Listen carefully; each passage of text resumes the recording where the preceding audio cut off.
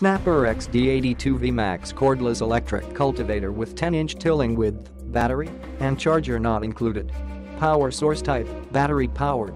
Click the link in the description to get this product today at the best price.